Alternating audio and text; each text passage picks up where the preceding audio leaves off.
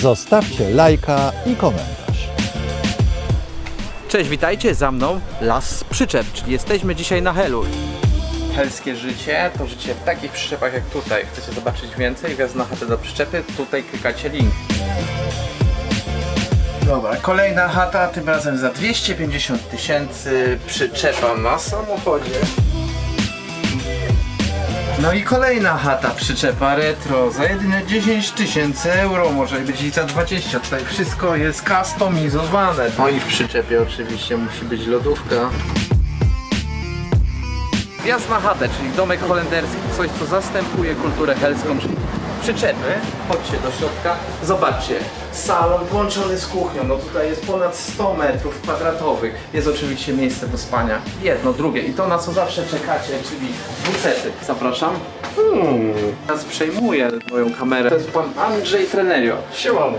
Wpadajcie do Zuzy i Andrzeja. Dzisiaj pokażę wam kolejny kontener, nie za 600 tysięcy, za 100 tysięcy, polski kontener. Patrzcie, tyle miejsca, można się ganiać, ganiać. Zobaczcie, o, leżę tutaj, patrzcie, a tutaj jest jeszcze WC. Jaka klasyka. Tu się rodzą pomysły na YouTube. No i co, da się żyć w kontenerze za jedyne 100 tysięcy, a nie ładować się w kredyt przez 30 lat. Oczywiście tradycyjny korek, jak to na Helu. Dwie godziny trzeba jechać z ostatniego kempingu do ronda we Władku bezwieczne dni, trochę rozrywki, zobaczymy co tutaj jest. O, HBO się włącza dobry internet, Wi-Fi i za darmo. To jest Ameryka. Przerwa na reklamę. To jest mój operator, Sandomierski. To jest mój samochód z Elite Auto, a to jest Sea Towers. Wracamy do oglądania. Każdy hemping na Helu to rewia mody samochodów. Tutaj trzeba podjechać czymś pod przyczepę lub namiot za 100, 200, 300 lub 500 tysięcy. Półwysep to istne królestwo parawaningu. Parawany widzę wszędzie.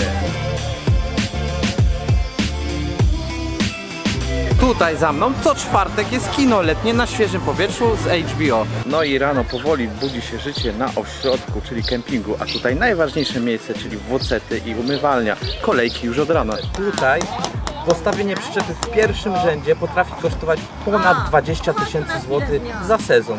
A dlaczego tyle się płaci? Ponieważ płaci się za atmosferę, klimat i za to, że odwiedza się tutaj swoich znajomych.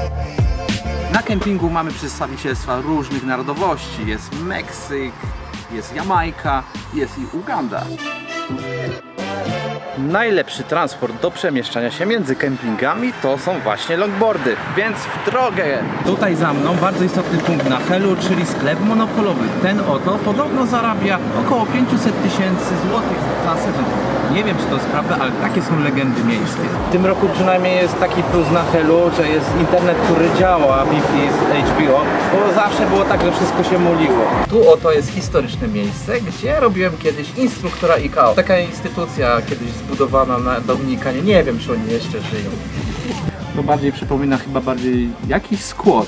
Tu mamy butelki, tam ludzie leżą pod przyczepami, albo też widzę pod samochodem. No chyba tu wczoraj się mocno działo. Na Półwyspie Helskim znajdziemy wiele interesujących gatunków, na przykład Januszy Paranawalningu, foki, takie, które występują tutaj, ale także w helskim fokarium. I to by było na tyle helskich ciekawostek. Jeżeli chcecie więcej tego typu filmów, dajcie znać w komentarzach i proponujcie kolejne miasta, kolejne destynacje. I to by było na tyle. Trzymajcie się i strzałka.